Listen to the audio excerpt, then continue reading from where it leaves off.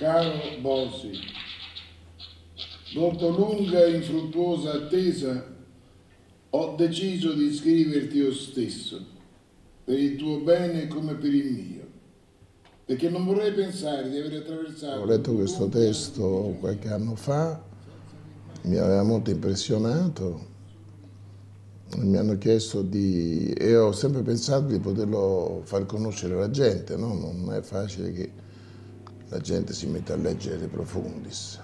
E ho pensato quale fosse il modo migliore e ho pensato che leggerlo, eh, illustrando un po' anche certi retroscena, non tanto da parte mia ma da parte di una specie di testimone letterario, sarebbe stata una cosa per me interessante. Se di solito quando una cosa mi interessa e mi intriga, la risposta del pubblico viene.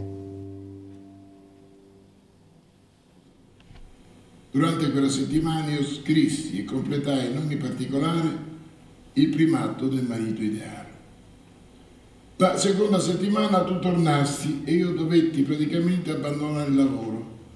Arrivavo a St. James Place ogni mattina alle 11.30 per poter pensare e scrivere senza le inevitabili interruzioni della mia casa. Cerco di solito di dare, ma questo anche quando faccio dei personaggi, diciamo, teatrali, cerco di ridare l'autore, cioè quello che volevo fare, voleva dire l'autore.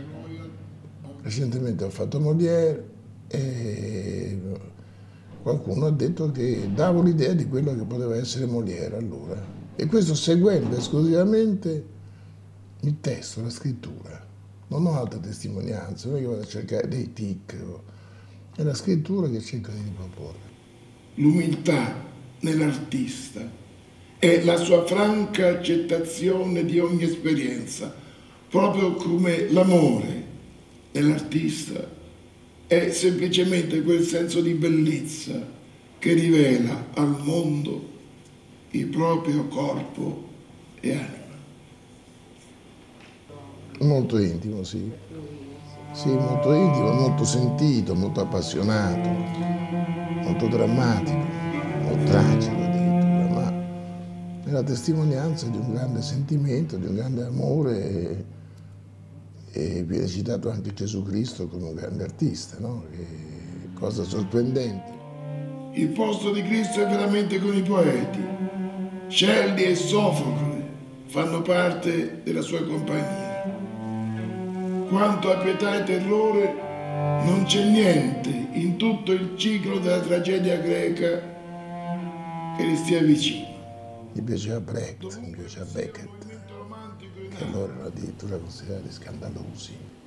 La base del carattere è la forza di volontà. E la mia forza di volontà divenne assolutamente soggetta... In Inghilterra in altri paesi europei non c'è la differenza fra attori di cinema e di teatro un attore basta. Qui in Italia negli ultimi tempi si è un po' attenuata la cosa, però in Italia c'è l'attore di televisione, l'attore di cinema e l'attore di teatro. Questa è una distinzione priva di senso, no? tutte e due le cose si intersecano. Al cinema è utile fare delle cose teatrali e a teatro è utile fare cose cinematografiche. Bisogna recitare con registi bravi, con attori bravi laddove ce ne sono eh, le cose vanno meglio. Entrambe le cose. Diventai incurante della vita degli altri, presi il mio piacere laddove mi garbava e passai oltre. Dimenticai che ogni piccola azione della giornata fa o disfa il carattere. Perché c'è, stata la drammaturgia della regia. Cioè la regia ha fatto drammaturgia, si dice lo Shakespeare del regista, si dice lo Shakespeare, si dice il Molière del regista, non si dice Molière regia di, capito? Perché sono diventati loro gli autori. Presi il dramma, la forma più oggettiva nota all'arte, e ne feci un modo di espressione come la lirica o il sonetto, dramma, romanzo, poesia in versi, poesia in prosa, dialogo sottile e fantastico, qualunque cosa toccassi, la rendevo bella, in un nuovo genere di bellezza. Per molto importante e fondamentale scrivere su delle persone che già lavorano insieme. Eh, Molière, Shakespeare, eh, Fo, lavoravano con gli attori, sapevano che avevano a che fare, scrivevano le parti, giungevano De Filippo, scriveva poi le parti sera per sera, diceva ah bene, batteva il piede e il suo genitore scriveva la battuta. Con questo non voglio dire che la regia non ci deve essere, ci deve essere, certo, ma in Italia è diventata prevalente rispetto al testo.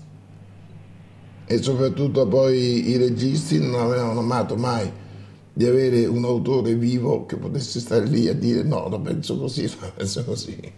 Incompleto, imperfetto come sono, tu puoi tuttavia avere ancora molto da guadagnare da me.